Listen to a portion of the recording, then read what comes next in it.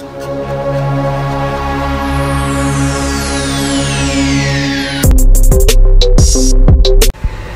my dear friends, welcome to this channel. If you're new here, please watch the video, give a big thumbs up to show your support and why not subscribe? It's free. Today is June 12, Philippine Independence Day, Araw ng Kalayaan to all my kababayan sa abroad and in the Philippines. Happy Independence Day!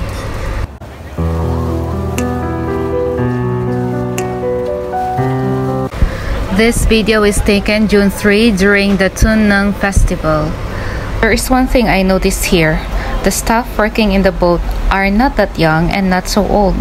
Male and female, they can do the job. Unlike in the Philippines, you must have a pleasing personality before landing a job. Dapat naka-high heels, naka-makeup, magandang itsura, baka para magkaroon ng trabaho. To sa abroad, if the employer see you can do the job, you won't be jobless for sure. So, I'm back at Victoria Harbor. Yan po yung nakita ninyong mga bangka-bangka. Akala ko may special na dragon boat dito makikita. Wala pala. Kaya, eto guys, I'm walking along Chimshachoy Promenade. Ngayon, makikita ninyo yung mga kainan dito. Pero mahal. Hindi kaya ni Kunyang. Hanap tayo ng mga mumurahin lang. Ano ba? Ano gusto mo ng ganito? And this one? Oo. Okay. Much yeah? Oh. That one is 28 ah.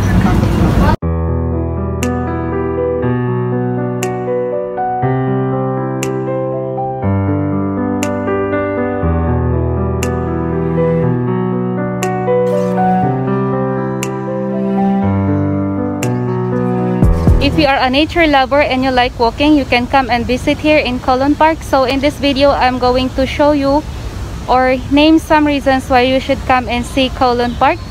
This is a very big park here in Colon. It's around 13 hectares, so there's a lot to walk here.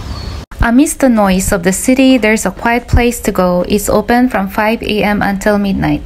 Another good news is the free Wi-Fi available through wifi.hk. It has also facilities for persons with disabilities. Above this waterfall is the aviary.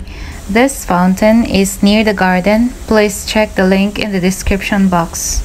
From wampo-org.hk, Colon Park Swimming Pool is one of the best equipped swimming pools in Hong Kong and is the only venue in Colon suitable for staging major or international swimming events. Bawal po mag-picture dito o mag-video kaya ang pangit ng kuha ko dito. But anyways, Colon Park Swimming Pool opened on September 12, 1989, which occupies an area of 3 hectares and can accommodate a maximum of 1,433 swimmers with an annual attendance of over 800,000 visitors. Wow! One thing I enjoyed in this park is watching this gang of striking pink flamingos splashing around in the bird lake. Ang cute po nilang panuorin. O, tingnan ninyo.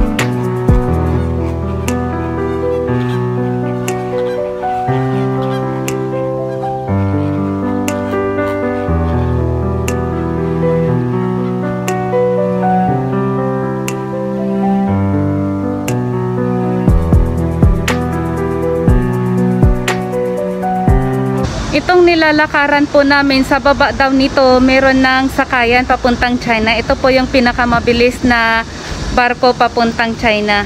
International Financial Center or IFC, the 24th tallest building in the world. Yan po yung parang bullet. And then on the other side is ICC or International Commerce Center. It's ranked 11 in the world in 2016. It is 484 meters tall.